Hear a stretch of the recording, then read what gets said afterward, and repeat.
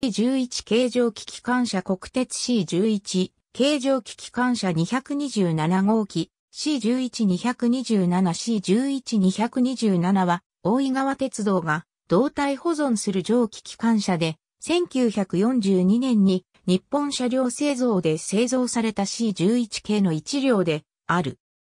同鉄道に入線する以前は日本国有鉄道で使用されていた。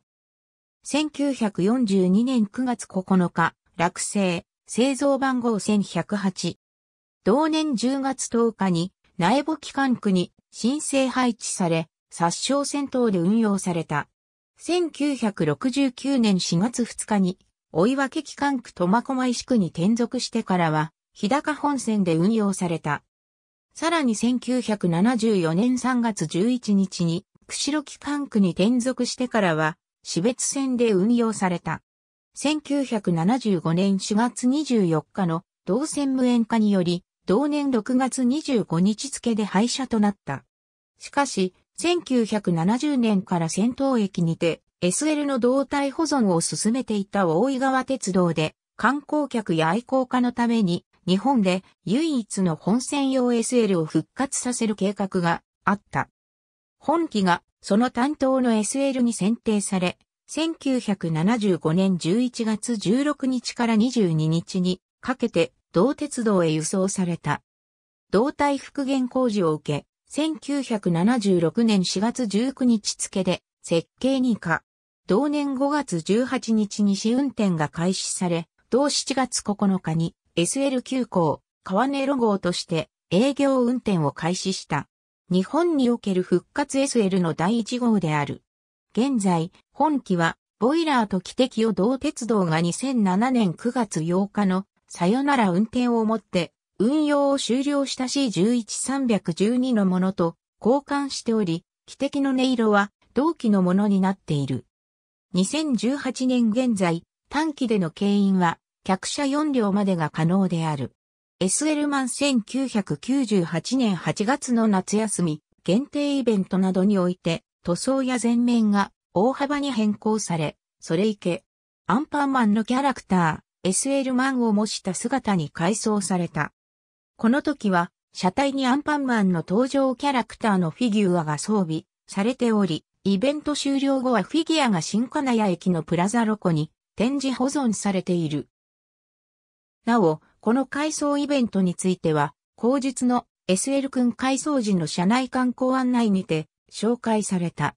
SL 君2005年の大井川鉄道創立80周年時に同社職員のアイデアによって生まれ、2012年2013年の夏休み限定イベントとして、大井川鉄道のマスコットキャラクター、SL 君を模した姿に改装された。車体前面が明るい青色に塗装され、目玉とリボンはヘッドマーク扱いの脱着可能なタイプとした。機関車、トーマス号2014年の夏休み、限定イベントとして開催。ウィルバート・オードリー原作のイギリスの幼児向け、テレビ番組、機関車、トーマスとのタイアップ企画で、日本語吹き替え版の総合制作である、ソニークリエイティブプロダクツとの全面的なパートナーシップの下、登場キャラクターである、トーマスを模した姿に改装され、機関車、トーマス号として、同年7月12日より運転された。また、大井川鉄道所有のスハ43系、客車7両が、トーマスの牽引する客車、アニーとクララベルを模したオレンジ色に塗装され、専用客車としてリニューアルされたほか、銭湯、駅構内に生態保存されている9600系蒸気機関車が登場キャラクター、ヒロを模した姿に改装され、機関車、トーマス号とのツーショットが行われた。2014年度の運行は10月12日の貸し切り運転で終了。その後、元の姿に戻されて同月19日に運用を再開した。2015年度は6月7日から10月17日まで運転された。また、登場キャラクター、ジェームスを模した姿に改装された C5644 との10連運転及びプッシュプルも行われた。2016年度から2019年度までの機関車。2016年度から6月11日から10月10日まで2017年度から6月17日から10月9日まで。2018年度から6月9日から10月14日まで。2019年度から6月22日から12月1日まで。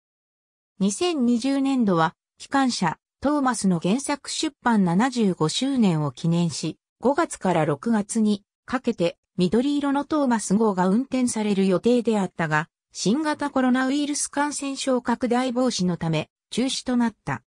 同年度の機関車トーマス号については6月26日から10月19日まで運行された。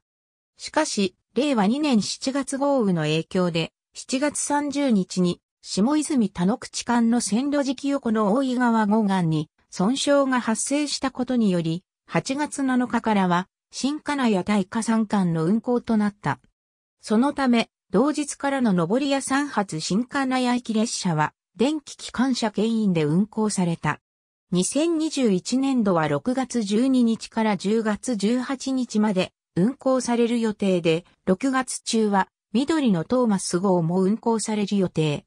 ありがとうございます。